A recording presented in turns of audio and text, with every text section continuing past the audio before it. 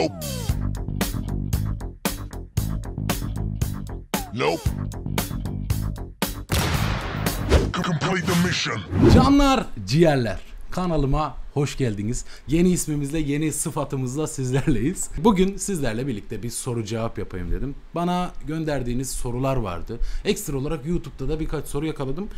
Çok fazla soru var. Ortalama her videoda 100 yorum geldiğini düşünürsek yani bunun da bir 20'sinin soru olduğunu varsayarsak çok fazla soru var. Ondan dolayı şimdilik 30 kadar soru aldım. Kısa kısa kendimce cevaplamaya çalışacağım. Parantez içinde tekrardan söylüyorum. Amerikalıların hareketiyle. Kendimce cevaplayacağım. Kendi bildiğim kadarıyla bunun da ayrıntısını vereyim ki sonra bana aşağıda Abi neden böyle dedin tarzı şeyler demeyin. Sizden ricam arkadaşlar her video girişinde de tekrar tekrar söylemekten aslında ben de sıkıldım. Şu anda 4000 5000 olma civarındayız. Bu kanal 10.000'i de görecek 100.000'i de görecek inşallah belki Allah'ın izniyle 1 milyonları da görecek. Ben inanıyorum siz de inanın hadi bakalım. Şimdi ilk sorudan başlayayım yavaş yavaş. Amerika'da Uber ya da yemek dağıtım işleri için ne yapmak gerekiyor? Şöyle söyleyeyim bildiğim kadarıyla SSN yani Social Security Number dediğimiz bir şey var arkadaşlar. Yani bizim TC kimlik nomuz gibi bir şey oluyor bu. Ona sahip olmanız gerekiyor. Lakin şöyle de bir durum var. Uber, Lyft tarzı insanlarla birebir iletişim kurduğunuz şeylerde bunlar kesinlikle lazım. Çünkü mesela for example ben abimin kimliğini aldım abi. Onun adresiyle kullanıyorum. Onun SSN'ini, onun fotoğrafını, onun Uber veya Lyft hesabını kullanıyorum. Fakat biri geldi ben abimle çok da benzemiyor. Benzemediğimi gördü ve şikayet etti. Abimin de hesabı yanar. Benim de oradaki durumum sıkıntıya girer. Çünkü benim öyle bir social security number'ım yok. Fakat DoorDash'tir, Amazon Food'dur bu tarz biraz daha yemek dağıtımı veya marketten bir ürün alıp kişilerin evlerine götürdüğümüz tarzı uygulamalarda genellikle bu SSN numarayı daha çok kullanıyor bizim Türkler. Çünkü orada birebir bir görüşme yok. Kapının önüne yemeğini veya işte alışverişini yapıp götürüyorsun. Herhangi bir insanla temasta bulunmuyorsun. Ondan dolayı daha rahat yani o tarz şeylerde aklınızda bulunsun. Onu da yapabilirsiniz pek önermiyorum ama yapabilirsiniz. Öyle söyleyeyim. Kral ABD yakında sınırlarını açacak. Elbet sen ne zaman gitmeyi düşünüyorsunuz arkadaşlar? Sen ne zaman gideceksin abi? Abi ne zaman döneceksin abi? Abi ne zaman tekrardan bana yeni videolar gelir? Abi ne zaman ne zaman ne zaman diye yaklaşık 150 tane soru vardı. Abartmıyorum. Hem YouTube olsun hem Instagram olsun. Bunda bir tanesi buraya koyuyorum. Belki hatta aynı sorulardan benzer sorulardan da seçmiş olabilirim. Bazı sorular e, benim cevaplayamayacağım sorularda onları zaten almadım mümkün oldukça. Part 2'si de gelecek bunun arkadaşlar. Hem sizin yeni yorumlarınız hem yeni sorularınız Instagram DM'de olsun. Onlar geldikçe ben de eski sorulara da bakacağım. Yeni sorular bir harmanlayıp tekrardan size part 2 part 3 şeklinde de yapabilirim soru cevapları. ABD'ye ne zaman aslında ben e, bu koronadan önce gitmeyi planlıyordum. Bu yazda Amerika'ya gitmeyi planlıyordum. Fakat korona belası çıktı başımıza. Yani dünyanın hiçbir ülkesi rahat değildi bu konuda. Ondan dolayı e, zaten o sınırlar kapandı, uçuşlar iptal oldu, gidemedim. Fakat en yakın zamanda yani okulumun da olmadığı bir yakın zamanda mümkün oldukça gideceğim arkadaşlar. Zaten 25-30 tane planım var. Amerika'da bunlardan birisi. Ee, orada videolar gelmeye devam edecek. Ekstra olarak zaten bildiği yani birçok insan biliyor. Instagram'da takipçilerimiz, bazı YouTube takipçilerimiz de biliyor arkadaşlar. Çok fazla stokta videomuz var zaten. Onları atacağım. Ekstra olarak böyle soru cevap olsun. Kayla ilgili videolarda gelmeye devam edecek arkadaşlar. Masa başı da olsa sizi bilgilendirmeye devam edeceğim. Bu arada arkadaşlar kanalın ismini değiştirmemin sebebi sadece ama sadece Amerika ile ilgili değil. Yurt dışında birçok yerle ilgili içerik getirmeyi planlıyorum ben bu kanalda. Ekstra olarak ben bu kanalı ilk açtığımda zaten vlog kanalı yani daha doğrusu kişisel bir kanal olarak açtım. Benim hayatımdan da kesitler göreceksiniz. Devam edelim yeni sorumuzla. Yüksek lisans ücretlerinde taksit seçenekleri oluyor mu? Sence Texas'ta okunur mu? Benim bildiğim kadarıyla tamamen üniversiteden üniversiteye değişen bir şey bu taksit seçeneği. Kimisi atıyorum 10 bin dolarlık hani dönemlik ücreti 10 bin dolar olan bir üniversite tamamını alıyor. Kimisi ise arkadaşlar bunu taksitlendirebiliyor. Texas'ta okunur mu dersen özellikle şöyle örnek verebilirim. Abim Texas'ta okuyor. Texas A&M University. Gayet de iyi yani başarılı. Onu da geçtim Yale Üniversitesi var. O da yani birçok araştırmada falan ismini duyduğumuz bir üniversitedir. Onu da önerebilirim. Ama bunlar tabii ücretleri yüksek üniversiteler. Bunun e, ikamesinde de birçok üniversite var diye biliyorum Teksas'ta. Texas okuma konusunda ilk 2'de veya 3'te olduğunu biliyorum arkadaşlar. Kesinlikle okunur diyebilirim. YouTube'dan ne kadar kazanıyorsun demiş. Ee, çok kazanmıyorum. Buna ayrı bir video yapacağım. Gerçekten kazandığım zaman bir video yapacağım buna. Bu soru sorular da çok geldiği için almak istedim. Böyle bir küçük e, politik kaçamak bir cevap verip devam edeyim. TR'de diyetisyenlik okuyup Amerika'da çalışmak nasıl olur? İş imkanı var mıdır? Olanaklar nedir? Şöyle söyleyeyim arkadaşlar. Türkiye'de olan işlerin birçoğunu orada da yapabilirsiniz ama hukuk gibi bazı bazı mesleklerde şöyle bir sıkıntı var. Sizin buradaki diplomanız orada işe yaramayabiliyor. Orada işte 2 yıllık falan üniversiteler bitirerek eksik kalan şeyleri tamamladığınız sürece buradaki bölümünüzde orada da devam edip üstüne orada da çalışabilirsiniz diye biliyorum. Çok fazla detaylı bilmiyorum. Özellikle diyetisyenlik, şuyluk, buyluk diye ayırırsak ona bir cevabım olmaz. Fakat maalesef belirli mesleklerin diplomaları orada geçmiyor. Yaşınız kaç? Çok geç gösteriyor. Çok genç gösteriyorsunuz demiş bir arkadaşımız da Orhan arkadaşımız. Ya ses tonumdan dolayı e, bir büyük gösteriyor olabilirim. Fakat lakin ki e, şu anda arkadaşlar 25 yaşımı doldurmak üzereyim. Doldurmanın yarısındayım yani öyle söyleyebilirim. İngilizceyi en kolay nasıl öğrenirim? Benim bununla ilgili de bir video yapacağım arkadaşlar. Ben mükemmel İngilizcesi olan bir insan değilim. Fakat 2 aylık bir süreçte İngilizcemi birden 75'e çıkardım yani. Bir değil, birdi yani benim İngilizcem. Belki 75'lere 80'lere çıktı öyle söyleyebilirim. Yani nasıl bunu yaptım? Arkadaşlar hayatının her yerine nasıl benim kilo videomda bahsettiğim gibi İngilizceyi yerleştireceksin abi. Nasıl orada sürekli diyet ürünleri veya işte daha az yemeği yerleştirdiysen burada da aynı şekilde İngilizce'de hayatının her yerine telefonundan televizyonuna duyduğun birçok sesi İngilizce yapacaksın. Sürekli İngilizce konuşmaya çalışacaksın. En basiti gidip ben şu an evimde bile arkadaşlar unutmayayım diye en basit şeyler hala duruyor. En başında yapıştırmışım. Refrigerator'lar olsun işte ne bileyim table'lar olsun en basit şeyleri bile yazdım. Ya tamam yapmazsın bildiğin şeyleri yapmazsın. Ben önceden yapmışım hala kalmış. Okey. Fiilleri atıyorum bir yere yazabilirsin. Bunu yapabilirsin. İngilizce diziler izlersin. Altyazısı da İngilizce olur. İlk etapta Türkçe dinle izlersin. Sonrasında tekrarında bir İngilizcesini izlersin. Aynı bölümün. Örnek veriyorum How I Met Your Mother'da 3. sezon 7. bölümü izledim. Altyazı Türkçe izledim. Tekrardan aynı bölümü altını İngilizce izledim. Yabancı şarkıların lyrics yani sözleriyle birlikte okuyarak, takip ederek dinleyebilirsin. Yani listening yapmış olursun, aynı zamanda reading yapmış olursun. Bunları yapın arkadaşlar. Ya önerebileceğim çok şey var aslında ama bunu ayrı bir videoya saklamak istiyorum. Bence daha detaylı anlatım sizler için de daha iyi olur. Çünkü videonun başlığına gelir insanlar. Ona göre bir faydalanma durumu oluşur. Yani kısaca 2-3 tane örnek verdim. Daha ayrıntılısını da çekeceğim. Amerika'da başına gelen en ilginç anı neydi veya USA hakkında izlenimin? Seviyoruz abi seni. İlginç anıya girersek e, Nurullah'cığım. İlginç anı çok. İki aylık bir süreç fakat ilginç anı çok tabii ki de. Yani kovulmalarım var en başta biliyorsunuz videolarda da. Onların tabii daha ayrıntılı anlatacağım. Yani onları da anlatacağım. İşte diyorum ya çok fazla video var. Çok fazla aslında anlatabileceğim şey var. Ya birçok anıdan bahsedebilirim fakat onlar için de bir bölüm hazırlamayı planlıyorum. Anıdan ziyade şu sorunu cevaplamak istiyorum Nurullah. Ee, USA hakkında izlenimim. Amerika hakkında izlenimim birçok şeyde çok daha rahat bir yer. Amerika bana daha çok Avrupalıların oyun parkı gibi geliyor. Yani kendilerine göre ayarlamışlar. Çok daha geniş araziler. Yani böyle çok daha büyük arabalar, çok daha ferah bir ortam. Kafalı yapıları o şekilde daha böyle hani disiplinli, daha düzenli. Yani ne bileyim böyle geniş, free, büyük arabalar falan. O tarzda bir yer gibi geliyor. Mesela Avrupa'ya gidenleriniz olsun veya görenleriniz hani uzaktan da olsa veya ne bileyim Google Earth'te gezen bir insan bile olsa arabaların küçük veya işte Avrupa'nın biraz daha böyle büyük Taksim gibi olduğunu benim tabirimle öyle büyük Taksim Taksim gibi olduğunu görebilir. Amerika öyle değil abi. Çok daha geniş. Veya ben sana şuna şöyle söyleyebilirim. size şunu sö- şöyle size şunu şöyle söyle ya size şunu size şunu şöyle söyleyebilirim arkadaşlar. Size şunu Two hours later. size şunu şu Biz hiçbir şey yapmadık bu süreçten. Poker face. Size şunu söyle... Sö- of. Size şunu söyle söyleyeyim arkadaşlar. Day two. Arkadaşlar size şunu söyle söyleyeyim. Bu ne lan bu yazı? Bu köşe yaz köşesi gibi oluyor. Arkadaşlar şunu şöyle söyleyebilirim. E, açıkçası ne diyeceğimi unuttum. Şunu şöyle söyleyebilirim. Evlerin alanı farklıdır. Walmart'ın veya marketlerin, Starbucks'ın keza farklı yerlerin olduğu yerler farklı. Tamamen ayrı bir yerde. Evlerin olduğu yer tamamen onların özel yani özel alanı. Anladın mı? Social distance yani.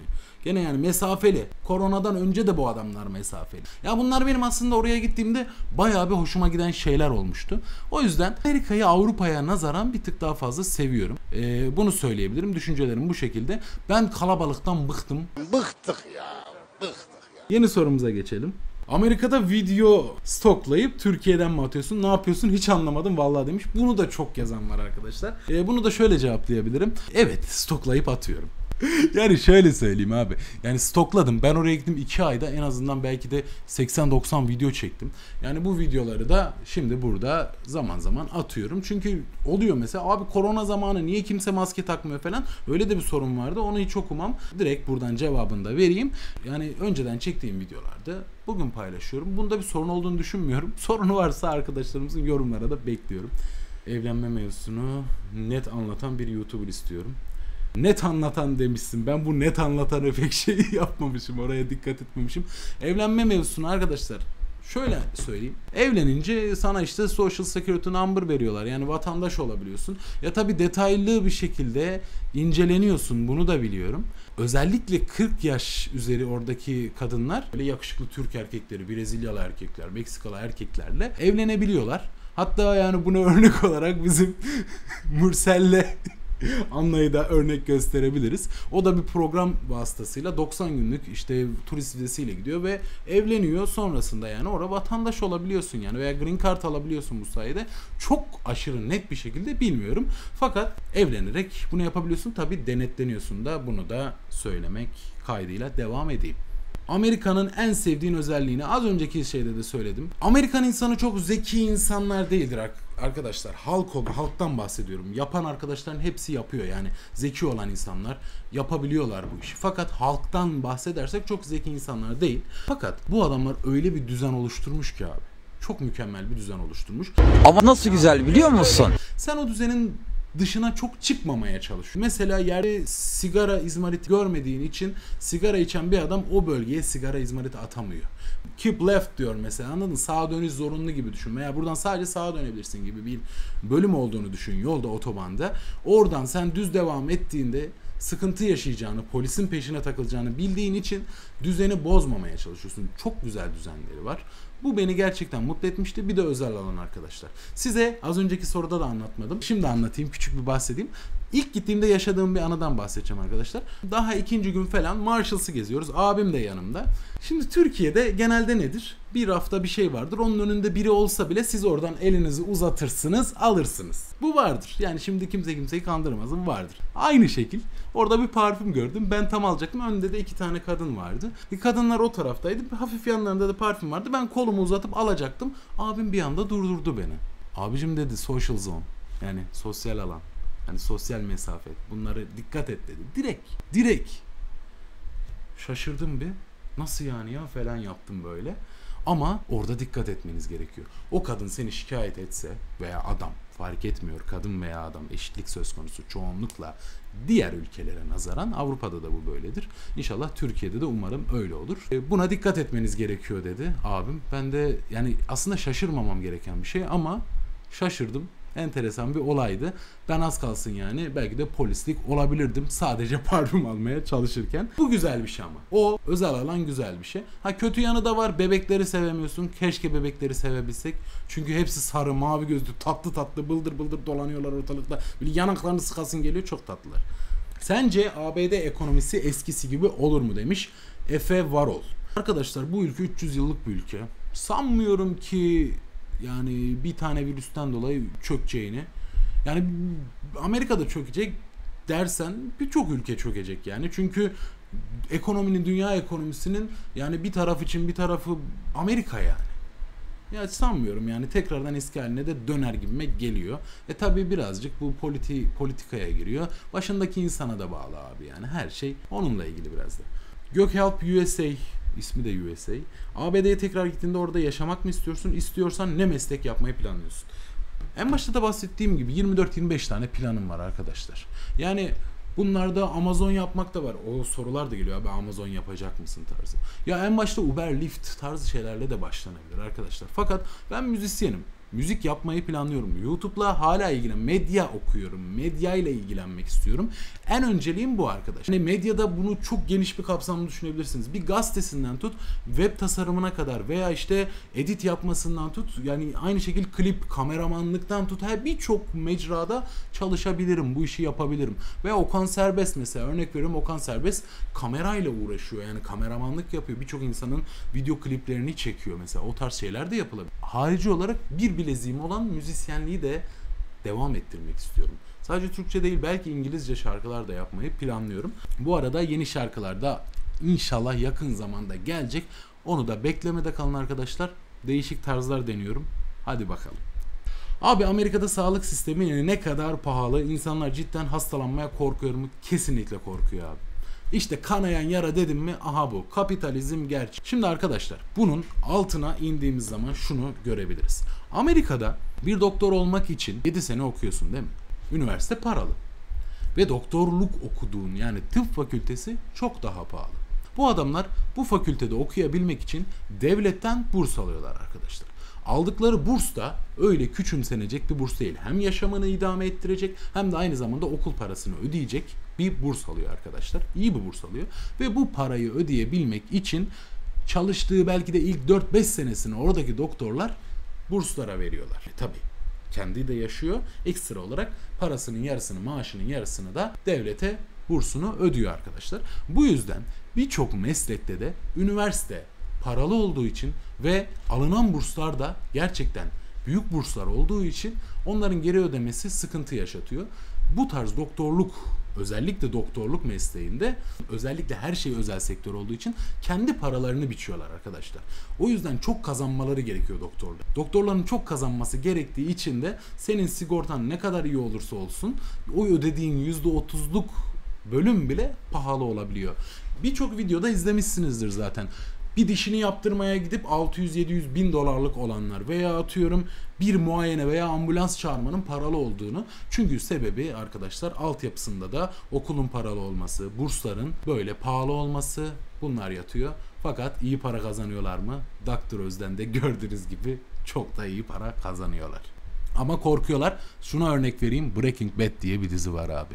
Adam kanser oluyor, uyuşturucuya bulaşıyor. Uyuşturucu baronu olup anca muayene olabiliyor yani.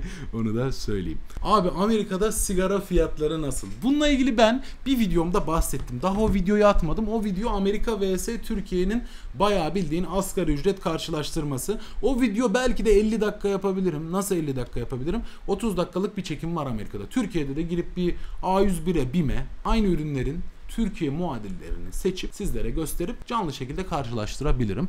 O videoda da sigara fiyatları yazıyordu. Gelecek ama ben küçük bahsedeyim arkadaşlar. Şöyle bir örnek vereyim. Ben sigara kullanan bir insanım. Sigara fiyatı her yerde değişebiliyor abi. Örnek veriyorum Walmart'ta Murphy USA denen bir benzinlik vardı. Orada bir sigaranın fiyatı, A sigarasının fiyatı 3 lirayken başka bir benzinlikte Shell benzinliğinde fiyat 4,5 dolar olabiliyordu. Bu o da işte gene kapitalizm ve özel sektör durumundan dolayı olan şeyler arkadaşlar. E, fakat orada da işte işi bilirseniz arkadaşlar Amerika'ya gitmeden ben bu videoları çekmemin sebebi siz ucuz yerleri görün. Örnek veriyorum Dollar Tree yani her şeyin 1 dolar olduğu yere gidip sen evine gerekli küçük eşyaları doldurursan çok daha ucuza getirmiş olursun. Bir video sayesinde. Ama sen git gittin hiç bilmiyorsun. E 4 dolar da ucuz 1 dolar da ucuz.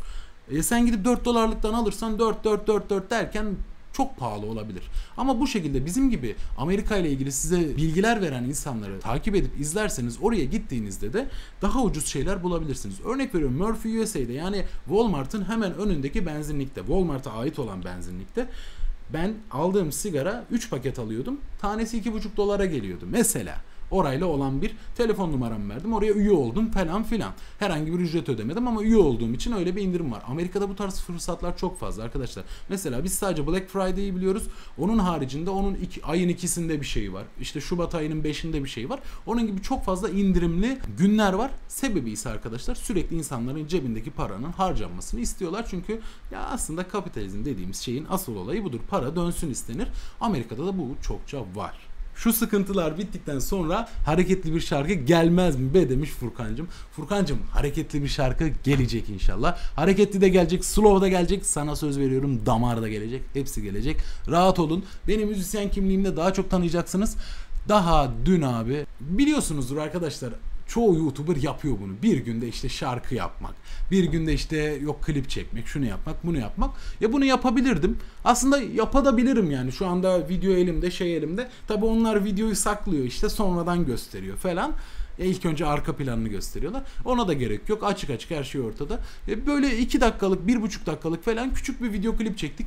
Tamamen evin mutfağında en basit şekilde editi de basit şekilde onların yaptığı işlerin aslında çok da zor olmadığını ama bu işle uğraşanların ne kadar zorlandığını anlatan bir olay. Bir video yapabiliriz. O da gelebilir. Haberiniz olsun ki yaptık zaten klibi çektik. 15 dakikada mutfakta klip çektik abi. Onu bir de ben 2 saatte 1,5 saatte editledim. Klibi de paylaştık hatta. Şimdi söylemiyorum. o video çekersem orada söyleyeceğim zaten. Sizlere de gösteririm. Dilay'dan para kazanılıyor mu? Tabii ki de her canlı yayın platformu olduğu gibi Twitch veya diğer canlı yayın platformlarında olduğu gibi Dilay'dan da para kazanılıyor arkadaşlar. Green Card'la mı yaşıyorsun orada diye bir soru gelmiş Light Selami'den. Light Selami'cim Green Card'la yaşamıyorum. Green Card'a başvurdum fakat olumsuz cevap aldım. Ben ve tüm arkadaşlarım olumsuz cevap aldı. Özellikle korona döneminde başvurduğumuz için maalesef olumsuz oldu. Ama ben oraya F1 vizesiyle gittim arkadaşlar. Yani öğrenci vizesiyle, dil okuluyla, vizesiyle. Dil okulunda kayıt olduğum sürece 5 yıl boyunca orada kalabilirim.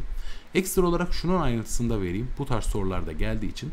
Arkadaşlar 2, 3, 4, 5 ay fark etmez. Dil okuluna kayıtlı olduğunuz süreden sonrasında kaydınızı durdurdunuz veya bitirdiniz. 2 aylık yani 60 günlük bir süreciniz oluyor. O süreçte de Amerika'da kalabiliyorsunuz. Örnek veriyorum 2 ay dil okulu, 2 ayda sonrasında kalabiliyorsunuz. Yani en az 4 ay. Sonra tekrardan dil okuluna kayıt olup tekrardan aynı süreci defalarca o 5 yıllık süreç boyunca yaşayabilirsiniz. 5 yılın sonunda da vizenizi uzatıp veya oradaki fırsatlardan yararlanıp işçi vizesine, oradaki durumunuza göre çalışma vizesine veya işte oturma vizesine veya farklı vize türlerine de geçiş hatta Green Card'a da çıkarsa geçiş yapabilirsiniz. Green Card'a farklı türlerde de geçiş yapabilirsiniz. Onunla ayrı, ayrıntılı bir videoda yaparım. Abicim Amerika'da spor salonlarının fiyatlarına da bakabilir misin demiş. Bakarım, bakmasına bakarım. Gidip onun videosunu da yaparım. O da sıkıntı değil. Sporla ilgili birkaç videomuz da geldi zaten. Ee, kilo verme olsun, işte spor eşyaları olsun, spor ürünleri olsun yiyip içme ile ilgili. Onların da videoları gelmişti fakat direkt birebir spor salonunda hatta spor yaptığım bir video bile gelebilir arkadaşlar. Fakat şunu söyleyeyim. Arkadaşlar Amerika'da 1 dolara da spor salonu var. 150 dolara. Onun videosu da gelecek. Dur bakayım bu güzel bir fikirmiş bunu yapar. Örnek veriyorum benim abim bayağı bir şekilde bir fırsat bulmuş diyorum ya bazı şeylerde fırsatlar ülkesi bazen de sıkıntı bir ülke. Yani sen işini bileceksin abi Türklük yapacaksın zeki olacaksın orada anladın mı? Türk dediğin zeki adamdır. Yani bizim bildiğimiz kadarıyla Türkler zekidir arkadaşlar. Yani orada birçok zengin de Türk var. Yani ve oradaki Türklerin çoğusu zengin diyebilirim size. Abim 2 dolara mı 3 dolara mı ne bir spor salonuna gidiyor diye. Anladın mı? Onun fırsatını bulursan gidersin. Veya o gün laptoplu gezginin bir tane videosunda gördüm. Yani 3 tane ayrı spor salonuna yazılmış. Biri 10 dolar, biri 20 dolar, biri 5 dolar mı ne öyle bir şey dedi. Yani toplamda 35 dolar para veriyor. Çok büyük bir para değil. Spor salonu için bir aylık üyelik. Adam diyor ki bunda havuz var, bunda başka bir şey var. İşte bunda böyle burası biraz daha ferah. Yani anladın mı? Adamlar rahat. 1 dolara bile var. Onun videosunu çektiğimde daha ayrıntılı şekilde görebilirsiniz. Telefonun kaç GB bunları böyle depolamışsın. Arkadaşlar telefonum XR. O bütün videoları çektiğim telefon ahanda bu. O sıra benim elimde EOS M50'lerim falan da vardı. Fakat telefonla çekmek arkadaşlar. Bir Walmart'ta çekim yapıyorsun. E bunu böyle tutuyorum. Ve basit bir şekilde kimse anlamayacak şekilde soran olursa da arkadaşım ben ya arkadaşıma video çekiyorum yolluyorum veya aynı şekilde ben görüntülü konuşuyorum diyebiliyorum ama normal kamerada olmuyor. Bir de büyük abi kocaman oluyor. Ondan dolayı sıkıntı. 256 GB bunun hafızası var. Ben bununla çektim. Yarısı anca doldu. O kadar videoyu çekmeme rağmen. Buradan çek. Osman abicim Amerika'da iş fiyatlarını bize de detaylı bir şekilde gösterebilir? Mesela garsonluk ne kadar? Amerika'da birçok eyaletinde asgari ücret değişiyor. Ortalama haftalık 40 saat baz alarak en az minimum 7 dolardan başlıyor Amerika'da asgari ücret. Fakat arkadaşlar hiç kim hiçbir Amerikalı ben görmedim ki 8 dolara 7 dolara saatlik ücretle çalışsın. Genellikle yurt dışından gelen insanlar 8 dolar civarında çalışıyor. Bunların da birçoğu zaten kaçak çalışıyor arkadaşlar. Yani şunu özetle şöyle söyleyebilirim. Amerika'da birçok insan özellikle Amerikalılar veya orada birinci ikinci senesini geçiren insanlar ortalama 12 dolar falan alıyor. Garsonlarda da şöyle bir şey var arkadaşlar. Gene eyaletten eyalete göre değişiyor. Bildiğim bir eyalet var. Abimden öğrenip hemen şu alta şuraya bir yere de yazacağım onu. Şu an aklımda değil eyaletin ismi. O eyalette arkadaşlar tüm garsonlar tamamen bahşişle para alıyorlar. Herhangi bir maaş bile almıyorlar. Tamamen olayları bahşiş. Biliyorsunuz Amerika'da bir bahşiş olayı var. %10 civarı, %20 civarı sürekli bir bahşiş muhabbet dönüyor. Ben hiç bahşiş ödemedim orada. Ya da bir kere ödemiştim. 1 dolar mı ne bir bahşiş ödemiştim. Ama haricinde arkadaşlar genellikle garsonlar ya işte 10-11 dolar civarı alıyorlar. Work and Travel'a giden arkadaşlarınız da varsa onlara da sorup öğrenebilirsiniz. Veya bahşiş sistemiyle para alıyorlar diyebilirim. Yani siz bunu isterseniz 8 deyin isterseniz 12 ona göre haftalık çalışma saatlerini hesaplarsınız zaten. Basit bir şekilde bir hesap yapabilirsiniz. 2000 ile 3000 dolar arası diyeyim temiz olsun. Abi Amerika'da yaşamak için ne kadar bir parayla gitmemiz gerekiyor? Nasıl gidebiliriz? Kısaca söyleyeyim kardeşim. Benim abim 500 ol- 500 bin dolarla 500 bin değil 500 tire 1000 dolar civarı bir parayla gitti. Bildiğiniz birçok YouTuber da size şunu demiştir. Ben 500 dolarla geldim. Ben 1000 dolarla geldim. Arkadaşlar Amerika'ya 100 bin dolarla bile gidemezsin gerçi o paraya o kadar parayla gidemiyorsun da 25 bin dolarla da gidebilirsin. 50 bin dolarla da gidebilirsin. Hesabında 100 bin dolarla da gidebilirsin. O tamamen senin kafandaki şeye bağlı.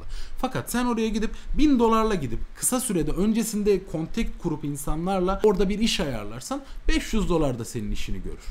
Ve örnek veriyorum Work and Travel'daki insanlar. Yani çünkü öncesinde adam iletişimini kurmuş ve işini ayarlamış. Fakat sen oraya seni en az iş bulamayacağını, ev bulamayacağını düşünüp herhangi bir tüm sıkıntıları A, B, C, D, E, F, G, H planın olacak şekilde yapman lazım. Bunun planların hepsini yapacaksın ve cebine en az ortalama 2000-3000 dolar koy ki bu para seni en az 1,5-2 ay idare etsin. Orada yaşamanı sağlasın. Benim önerim açıkça budur. Yani ortalama 2-3 bin dolar sizi her türlü 2 ay götürür arkadaşlar. Siz ilk gittiğinizde prensesler gibi yaşamayacaksınız arkadaşlar. İlk gittiğinizde bu işin de kahrını çekeceksiniz. Kimse size önünüzde tepsiyle işi de, evi de, parayı da sunmuyor. Siz tırmalamadığınız sürece Amerika'da aç kalırsınız. O yüzden ona göre bir plan yapın, ona göre gidin diyorum. Benim benim tavsiyemse 2-3 bin dolar diyorum. Daha da fazlası, daha da azı olur. O tamamen size bağlı. 31 kilonu ne kadar sürede verdin diyor. Gülcan, 31 kiloyu ben aslında tak diye vermedim. O videomda da bahsettiğim gibi hayatıma yaydım. 135-36 kilolardan 105 kilolara, 104 kilolara kadar düştüm. Dediğim gibi her şeyden yiyip az az yerseniz eee, bu iş oluyor. Her şeyden ye az az ye. Fakat sen kendini çok kısıtlarsan maalesef hiçbir şekilde sonuca varamıyorsun. Mesela ben şu sıralarda diyetteyim. Sürekli canım bir şeyleri çekiyor. Ben şu an bir kendime bir şok diyeti tarzı bir şey yapıyorum. Sonrasında gene bir şeylerden yiyeceğim. Fakat az az yiyeceğim arkadaşlar. Bir 10 günlük falan böyle bir mide küçültmek için küçük bir şok diyeti tarzı bir şey yapıyorum. Bir arkadaşım da yaptı. Onun da tavsiyesiyle yapıyorum.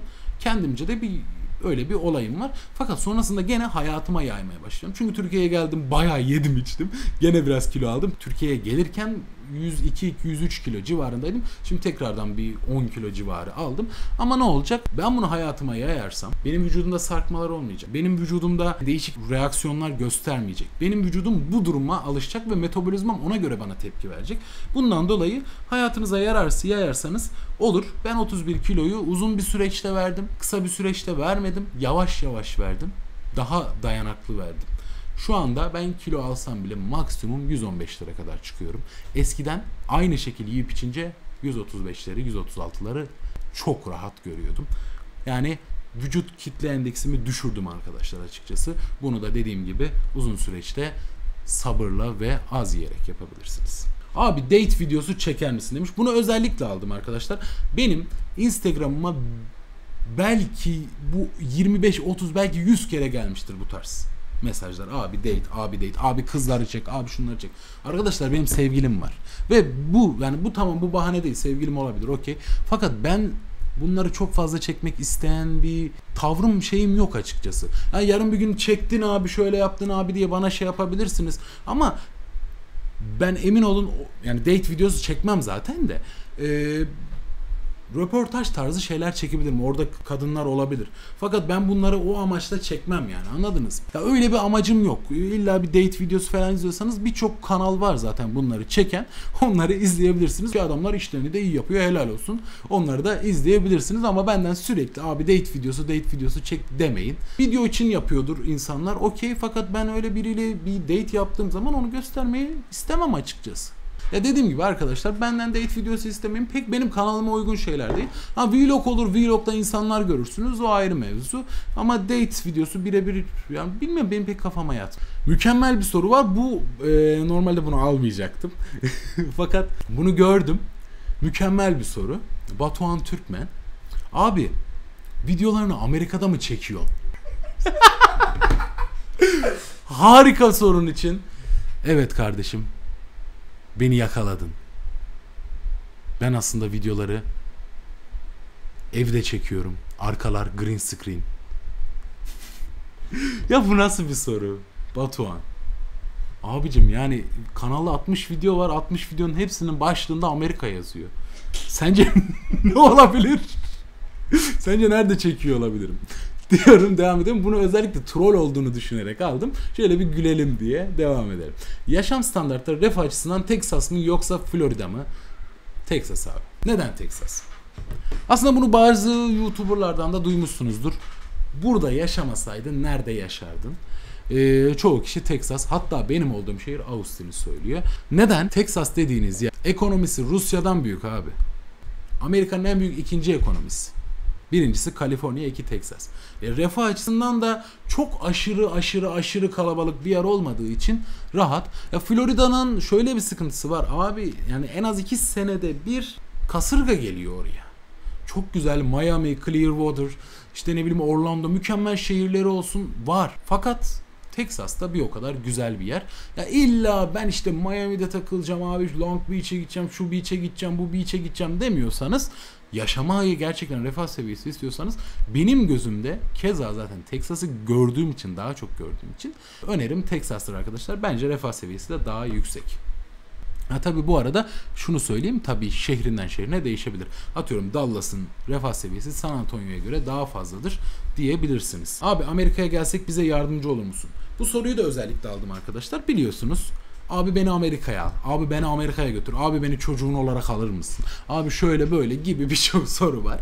Ondan dolayı bu soruyu almak istedim. Hani bir cevap vermek istedim. Yardımcı olmak tabii ki de isterim arkadaşlar. Neden olmayayım? Neden yani burada benim takip eden, beni seven insanlara yardımcı olmayayım? Fakat zaten bunun gibi birçok insana yardımcı olabilmek için benim de bir seviyelere gelmem lazım değil mi? Ya bunun için zaten sizlerin de desteği olması gerekiyor. Onu da geçtim. Ben de hayatımda iyi adımlar atmam gerekiyor. Ben bir oraya bir iyice yerleşirsem zaten sizlere de yardımcı olmaya çalışırım. Onu da geçtim. Laptoplu gezginin de kurduğu o belirli arkadaşlarla birlikte kurduğu Turkish Union gibi bir oluşuma ben de dahil olmak isterim. Onu da onun da çok sorusu geliyor. Ama ben sürekli orada olmadığım için buna da dahil olamadım. Ben yoksa yazacaktım zaten onlara. İletişime geçecektim. Ben de Texas bölümünden yardımcı olmak isterim diyecektim zaten. Fakat benim dediğim gibi belirli güzel iyi adımlar atmam, oraya yerleşmem ve sizlerin desteğiyle de büyümem gerekiyor bunları yapabilmem için. Ee, inşallah o günleri de görürüm. İnşallah birçok arkadaşımıza da yardımcı olmaya çalışırım. Bugün bu videolarda yardımcı olmaya çalışıyorum. Yarın birebir fiziksel olarak da yardımcı olmaya çalışırım yani. İnşallah yani ev ayarlaması olsun, birçok insanla tanıştırması olsun veya orada bir community kurmakta yani yardımcı olmaya çalışırım. Community kurarız yani. Güzel bir ilişki oluşur. Yani dediğim gibi arkadaşlar yardımcı olmaya çalışırım fakat benim de büyümem lazım. Türkiye'de üniversite bitince İngilizceyi tam anlamıyla biliyorsak Amerika'da dil okuluna yazılmak zorunda mıyız yoksa herhangi bir master programına direkt katılabilir misiniz? İngilizce seviyen dediğim gibi TOEFL gibi orada belirli yani burada olan gibi orada da sınavlar var. İngilizce seviyen iyiyse direkt bir şekilde üniversiteye katılabilirsin kardeşim. Her türlü işini de halledebilirsin. Fakat orada e, bazı insanlar iyice kaynaşmak, arkadaş edinmek için bir senelik bir dil eğitimi alıyorlar. Onu da yapabilirsin. Tamamen o sana bağlı. Bir Ankaralı olarak seni izledikçe adına ben mutlu oluyorum. Umarım en kısa zamanda çok iyi yerlere gelirsin. Allah hakkında hayırlısını nasip etsin. Bu arada birkaç tane sorum olacaktı abi sana herhangi bir yerden ulaşma şansın var mı demiş arkadaşlar. Arkadaşlar mümkün oldukça Instagram'dan DM yoluyla gelen mesajları cevaplamaya çalışıyorum. Ya tabi anlayacağınız üzere bazen çok fazla biriktiği olabiliyor. Ee, ondan dolayı e, bazen cevaplayamayabiliyorum. Bir de şu oluyor arkadaşlar. Ben insanlara cevaplıyorum. İnsanlar e, en az 3-4 soru soruyor. Ve o sordukları soruları sayfalarca belki cevapladığım oluyor. Fakat ben o insanlardan ufacık bir şey beklediğim an kendimi kötü hissediyorum. Bunu yapmak istemiyorum fakat herhangi bir destek de göremiyorum. Bu da beni mutsuz ediyor. Yani takipten çıkanlar sorusunu sorup takipten çıkıyorlar. Kendimi açıkçası o konuda biraz kullanılmış istiyorum, hissediyorum. Çünkü ben sayfalarca cevap vermişim o adama. Yani sayfaya bayağı zaman ayırmışım. Yani çünkü adam benim videomu izlememiş bile. Videomu bile izlememiş. Ben o adama sayfalarca cevap vermişim ve iki gün sonra bir bakıyorum adam sorusunun cevabını almış gitmiş bile. Yani abi ne bileyim yardımcı oldum hani bir şey yap bari takipte kal diğer videolarımdan da haberdar ol. Ne bileyim bir yorum at ve sen de destek ol bana hani ben sana cevap. Ya tamam beklenmeyecek bir şeydir belki ama insan bir bekliyor işte abi anladınız mı? Öyle söyleyeyim yani. Ee, diğer yandan bu arkadaşımızın yorumunu da almamın sebebi bu tarz güzel yorumlarınız geliyor. Bu beni ciddi anlamda mutlu ediyor arkadaşlar. Düşünsenize telefonunuza bir anda bir bildirim geliyor. Bir taraftan saçma sapan konuşan insanlar varken arada böyle yani arada dediğim bayağı da var yani Allah'a şükür. Güzel böyle yorumlar geliyor ve oturduğun yerde abi bir anda mutlu oluyorsun. Abi ben güzel bir şeyler yapıyorum diyorsun kendi kendine. Bu da o yüzden aldığım yorumlardan biri. Dediğim gibi Instagram'dan da bana ulaşabilirsiniz. Keza yorumlara da yorumlarınızı yazarak bu arkadaşın da olduğu gibi yorumlarınıza cevaplar alabilirsiniz. Bak aha da burada cevap veriyorum soru cevap videosunda. Bu şekildeydi arkadaşlar. Bu soru cevap birdi. Belki bu 3-4 daha olur. Çünkü gördüğünüz gibi şöyle ekrana göstereyim. Bugün sadece şu kadarlık. Ne kadar netler bilmiyorum. Netlemiyor boş ver. Yani 30-35 soru falanlık bir soru cevap yaptım. Daha da ayrıntılısı daha da gelebilir. Eğer e, beğenilirse, yorumlarda çok gelirse bu videonun devamı gelir. Dediğim gibi sadece Amerika değil, Avrupa'ya gidersem Avrupa ile ilgili videolarda çekeceğim. Birçok biliyorsunuz beni. Markete bir girdim mi ıvırını zıvırını her şeyi çekiyorum. Ivır zıvır reis olduk iyice. İnşallah yarın arkadaşlar bir gün büyüdükçe siz de göreceksiniz. Değişik değişik videolarda gelecek. İlk denemelerimiz biraz başarısız oldu farklı tarzda videolar ama insanlar ona da alışacağını düşünüyorum. Ama Amerika'ya döndüğümde oradan da videolar gelecek. Keza zaten çoğu videomda da bahsettiğim gibi deli gibi hala stok videom var. Hala atacağım dolu video var. Onlardan da gelecek arkadaşlar. Allah'a emanet olun. Sizleri seviyorum. Abone olmayı zaten unutmazsınız. Yorumunuzu da bekliyorum. Dediğim gibi daha çok bu tarz videoların gelmesi için beğenmeyi unutmayın. Cansınız. Haydi görüşürüz. Nope. Nope. Complete the mission.